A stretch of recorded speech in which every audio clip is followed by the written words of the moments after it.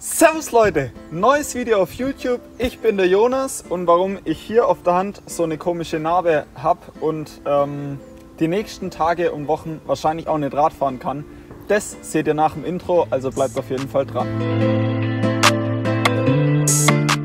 Jo Leute, also ich bin hier mal an den Waldrand gefahren, um mit euch ein bisschen zu quatschen, ein bisschen was zu erzählen und am Ende gibt es auch noch ein paar GoPro-Aufnahmen. Und zwar ist mir was passiert. Ich bin die Trail Trophy am Geiskopf mitgefahren. Die letzte Trail Trophy aus der Trail Trophy Serie. Dieses Jahr für 2021 war ich angemeldet, wäre ich mitgefahren. So, wir sind am Freitag den ganzen Tag Training gefahren, war auch mega geil, hat ultra Laune gemacht. Richtig geile Strecken, die Jungs haben sich mal wieder richtig Mühe gegeben, da richtig coole Sachen reinzustellen. Ich bin dann am Freitagabend noch Prolog gefahren, der war nicht so Bombe, ich war schon ziemlich kaputt vom Tag, war aber ganz okay, kann man nicht sagen.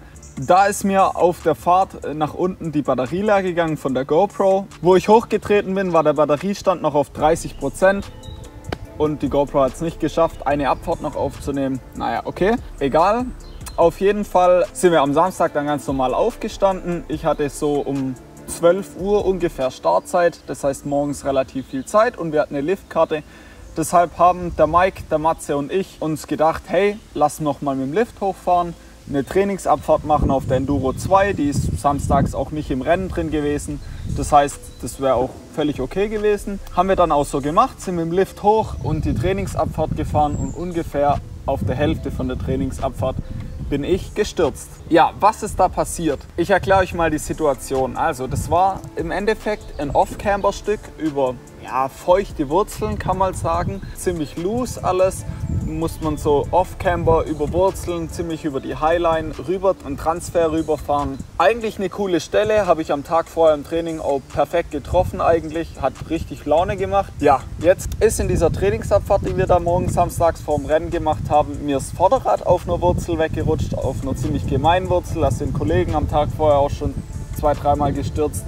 Das wusste ich aber nicht. Und ja, ich, das Vorderrad ist auf jeden Fall weggerutscht. Ich war auch nicht besonders schnell unterwegs. Ich bin zur Seite umgefallen mit der Hand bzw. mit dem Lenker. Auf der rechten Seite ja, in den Loam rein im Endeffekt und habe meine Hand angeschlagen. Ihr sagt jetzt wahrscheinlich, yo, nichts Spektakuläres, passiert mir 20 Mal im Jahr. Ja, ist mir auch schon oft passiert dieses Jahr, aber dieses Mal hatte ich einfach Pech. Mehr kann man den Sturz nicht beschreiben. Ich glaube, ich habe keinen großen Fehler gemacht. Nasse Wurzeln gibt es überall, wo man mal wegrutscht. Ich glaube, jeder von euch ist schon mal weggerutscht. Ich war nicht unter besonderem Druck, ich war nicht unkonzentriert. Wir waren, das war die Einrollrunde, also wir sind uns warm gefahren. Ich war nicht irgendwie körperlich kaputt oder so. Das war einfach Pech.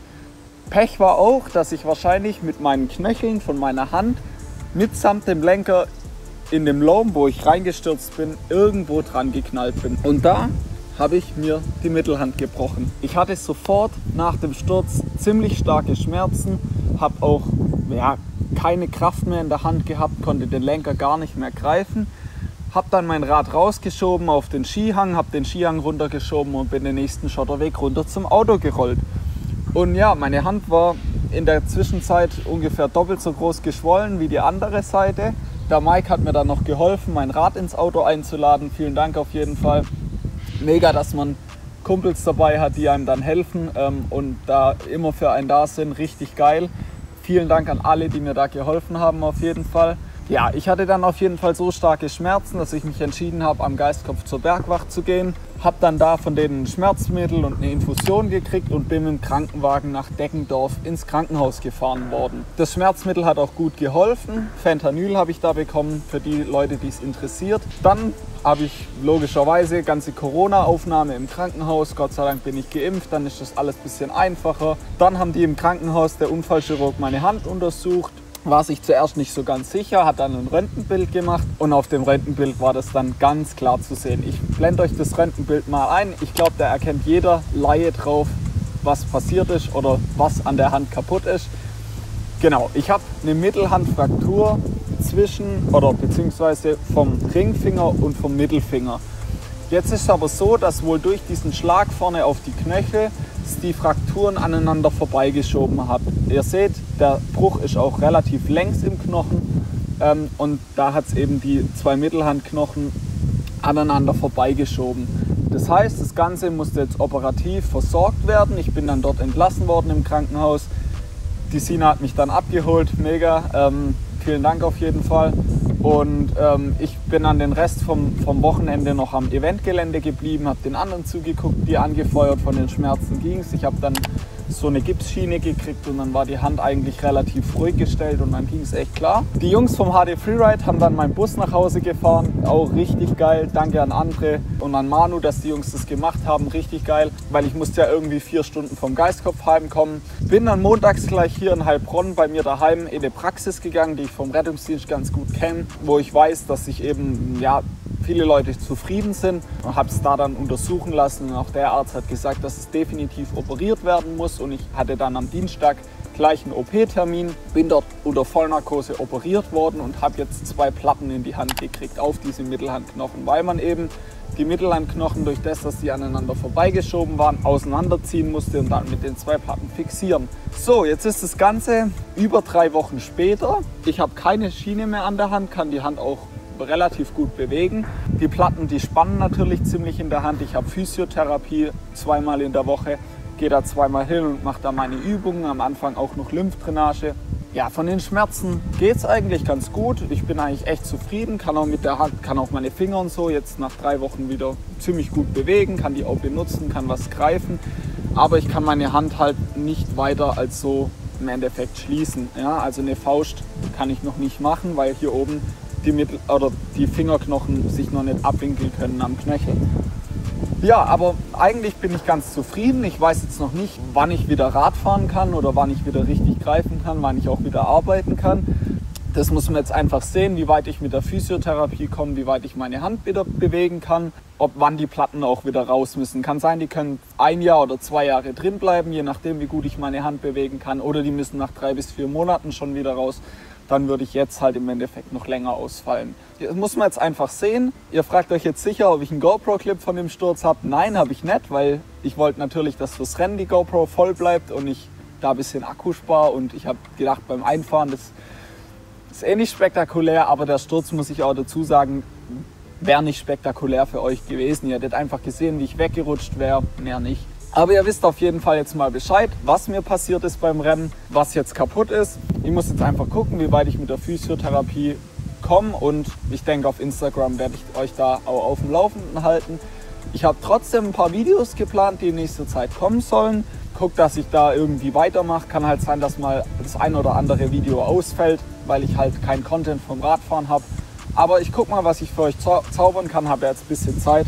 Und ich würde sagen, jetzt gibt es noch ein paar Clips vom Training. Ich denke, das sieht man auch ganz cool. Ein paar Strecken. Ähm, dann gibt es in dem Video nicht nur Gelaber, sondern auch ein bisschen Radfahr-Action. Ich würde sagen, wir gehen jetzt einfach ein bisschen ins Training rein. Ich hoffe, euch hat das Video gefallen. Ja, ich konnte einfach ein bisschen die Erfahrung mit euch teilen. Wenn ihr irgendwelche Fragen habt, schreibt die gerne in die Kommentare. Vergesst nicht, den Kanal zu abonnieren. Ich wünsche euch wie immer viel Spaß. Jetzt noch weiter mit den GoPro-Clips und bis zum nächsten Mal. Haut rein. Danke. Ciao. Hallo. Herzlich willkommen zu Jogel seinem neuen Video. Da ist Patrick Sturm, der ist berühmt. Patrick. Gerücht. Hallo Matze. Hallo. Hallo, wo sind wir? Fahrradfahren. Geistkopf. Warte, ich muss, warte, mach weg. Hallo. Guten Morgen. Herzlich willkommen zum Race Log vom Jogel. Richtig. Neues Und Video. ähm, neues Video auf Jogel seinem Kanal. Wir Ja, haben Mann. natürlich super Prime Conditions wieder. Einwandfrei. Gar nicht aber nass. Über Schnell kann ja jeder fahren. über den Parkplatz gerollt, auf ganz entspannt. Im Trockenen kann ja jeder schnell fahren. Genau, richtig. Ähm, ja, Tag 1 hier. Ähm, wir trainieren heute. Aber Wir haben Matze dabei natürlich. Die Ja. Legende. Äh, den berühmten Patrick Sturm. Kimli und Bike. Da die komischen von Schwäbisch Hall. Hallo, sag mal Hallo. Hallo. Ja, genau. Und ähm, wir sehen uns aber, denke ich, beim Prolog. Weil das ist ähm, das, der erste Clip für euch. Werden wir sehen. Ähm, aber wir machen uns gerade ready fürs Training und dann mal schauen, was geht hier. Matze, die Legende. Bis dann, haut rein, ciao. Leute, ganz wichtig, alle im Schaltwerk Schweigern ein Fahrrad kaufen. Guter Laden, habe ich gehört. Fahrt Raw Mountainbikes. Nein, sonst Mann.